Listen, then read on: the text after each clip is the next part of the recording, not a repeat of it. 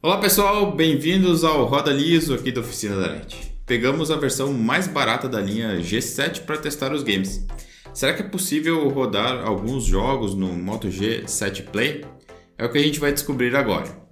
E a lista que a gente vai testar é Arena of Valor, Ark, Asphalt 9, Free Fire, PES 2019, PUBG, Rules of Survival e o Standoff 2. E aí, você é novo aqui no canal? Inscreva-se, por aqui a gente produz muito conteúdo sobre smartphone, como reviews, teste de câmeras e esse programa aqui que testa os jogos e muito mais. E se você já é inscrito aqui no canal e gosta do nosso conteúdo, calibra o like aí para que mais pessoas em busca do Moto G7 Play vejam ele em ação nos games.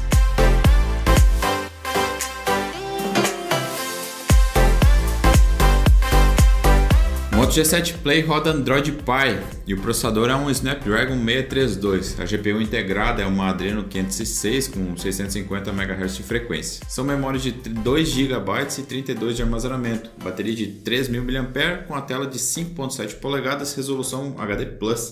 Lembra que eu enfatizo bastante esse ponto. Como a tela tem resolução menor e não há como aumentar esse índice, ele precisa processar menos pixels. E será que isso muda o desempenho?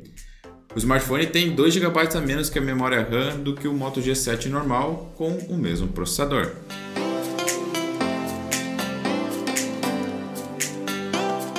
E o primeiro game analisado foi o Arena of Valor. O Moto G7 Play fez 30 frames com estabilidade de 90%. Ele consumiu de bateria durante o teste 374 mAh e você terá aproximadamente 8 horas de autonomia de bateria para jogar. E nesse período, a média de uso do processador ficou em 9% e a memória em 547 MB.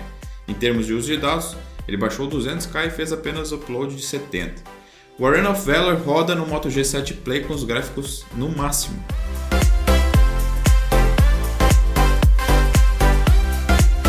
O segundo jogo analisado foi o Asphalt 9. No G7 Play são 30 frames a uma estabilidade de 86%. O consumo de bateria durante o teste ficou em 462 mAh. Isso dá 6 horas e 30 minutos de autonomia para jogar. E nesse tempo ele usou 9% de processador e 690 MB de memória. Baixou 2 MB e fez upload de apenas 170K.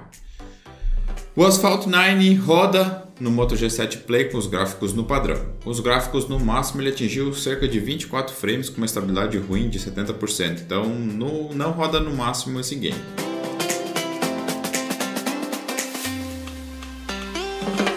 E o terceiro jogo analisado foi o Ark. E durante nossos testes ele usou 17% de processador, consumiu 637 MB de memória, baixou 258K e fez upload de 13K.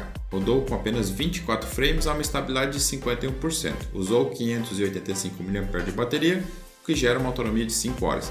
O Arc não roda no Moto G7 Play com os gráficos no mínimo, e a gente colocou ainda a menor resolução possível. O Arc vai rodar legal em smartphones que são intermediários premium ou topo de linha, né? Nesses de entrada dificilmente vai funcionar.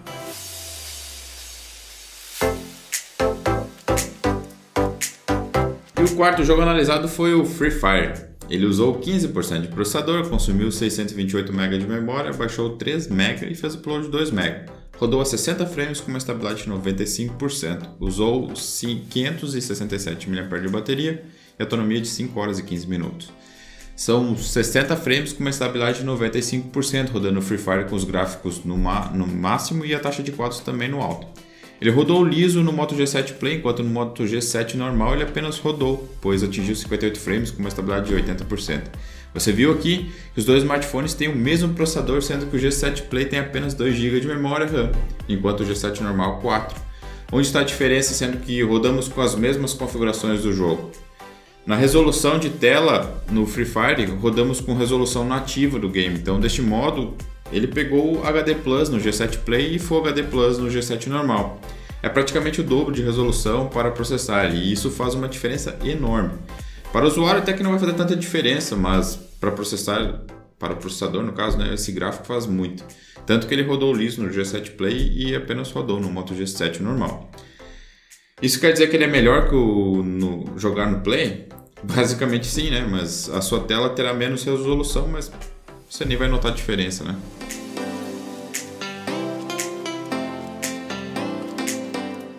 E o quinto jogo analisado foi o PES 2019. Fizemos os testes rodando em 60 FPS com as duas qualidades gráficas possíveis. No primeiro teste, no máximo, ele pegou apenas 22 frames com uma estabilidade de 92%.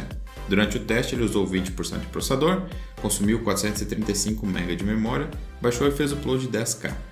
Usou 586 mAh de bateria e dá uma autonomia de 5 horas. PES 2019 não roda no Moto G7 Play com os gráficos no máximo, e esse é o nosso padrão aqui dos testes e para caráter de resultados ele não roda. Mas testamos também com os gráficos no mínimo em 60 frames, aí ele pegou 37 FPS com uma estabilidade de 94%, que são resultados suficientes para ter uma experiência ó, ok para jogar. Mesmo assim, ficou apenas com a metade dos frames que ele pode oferecer. Em resumo, com os gráficos no máximo ele não roda, e no mínimo você vai poder jogar de boa.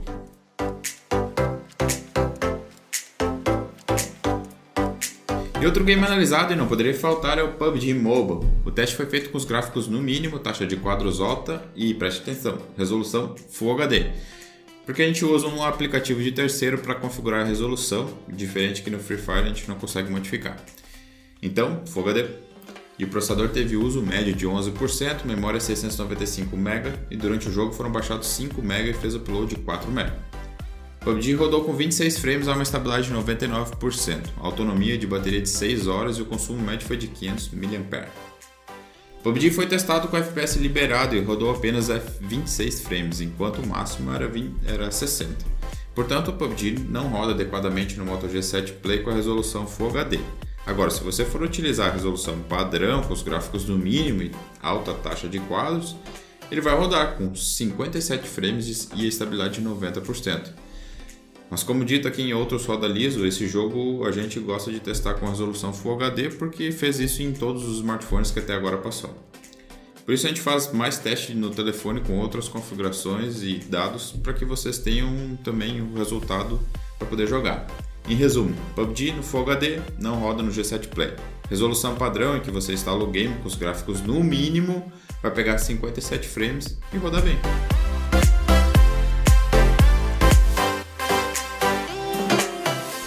A gente analisou também o Rose of Survival e com os gráficos no mínimo e configuração de QPS no Ultra, ele usou 15% de processador, consumiu 830 MB de memória, baixou 2 MB e fez upload de 1 MB. Rodou a 46 frames com estabilidade de 66% apenas.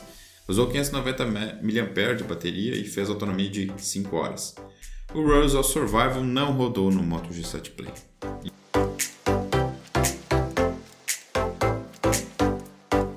A gente analisou também o Standoff 2 e ele usou 15% de processador, consumiu 584 MB de memória, baixou 6 MB e fez upload de 3 MB. Rodou com 58 frames e estabilidade de 92%. Usou 556 mAh de bateria, autonomia de 5 horas e 20 minutos. Standoff 2 roda liso no Moto G7 Play. O desempenho do jogo foi bem bom e manteve uma boa estabilidade.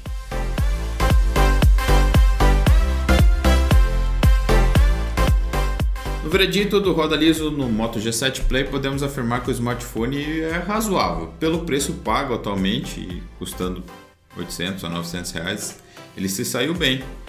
E se saiu de igual para melhor que o Moto G7 normal, claro, com uma resolução de tela menor. Tendo o mesmo processador, ele precisa processar menos informações e acaba tendo um desempenho um pouquinho melhor com mesmo com esses 2 GB de memória.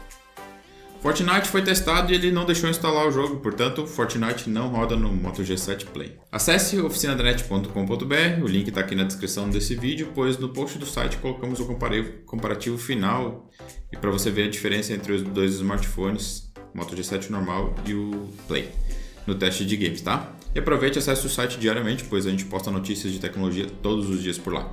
E aí, gostou de nosso teste de games no Moto G7 Play?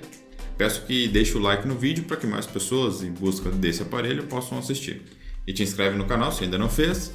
E nosso Instagram, arroba para ver mais testes como roda liso. Um grande abraço e até o próximo vídeo.